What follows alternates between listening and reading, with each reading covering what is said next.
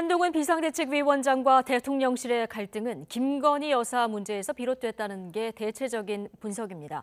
국민의힘 내에서도 사과하자는 쪽과 그러면 야당에만 도움된다는 측이 맞서면서 내홍 조짐이 일고 있습니다. 계속해서 이종원 기자입니다.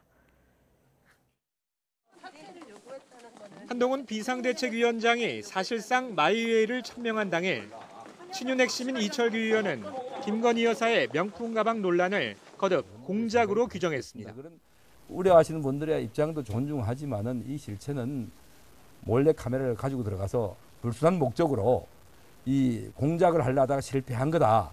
이거 이상도 이하도 아닙니다.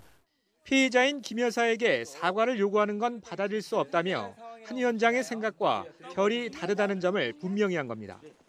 그동안 친윤 주류의 인식과 맥이 닿아 있습니다.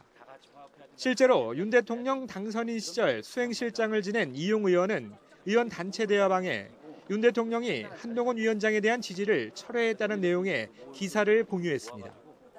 영남권 중진인 김영선 의원도 한 위원장을 향해 이번 논란에 대해 책임지라고 날을 세웠습니다. 하지만 총선을 70여일 앞둔 지금 여당 내에선 한 위원장을 지지하는 목소리도 터져 나오고 있습니다. 하태경 의원은 윤 대통령과 한 위원장 사이를 이간질하지 말라는 취지의 글을 의원 단체방에 올리며 사실상 친윤계를 겨냥했습니다. 유경준 의원도 SNS를 통해 지난 2022년 지방선거 서울시당 공관위원장 시절 협박을 받았다며 기존 당 주류를 정조준했습니다. 당내 비주류와 수도권에서 총선을 준비하는 인사들을 중심으로 한 위원장 엄호에 나선 모습입니다.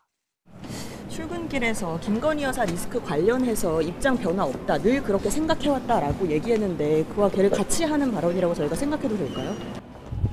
계속 같은 생각입니다. 문제를 거칠게 나눈다라면 저는 변한 거 없습니다. 네.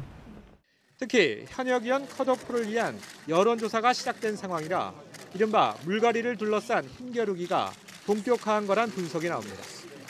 국민의힘 공천관리위가 발표한 기준대로라면 지역구 의원 90명 가운데 7명은 공천에서 원천 배제되고 20명 가까이는 경선 득표율의 최소 20%가 깎입니다.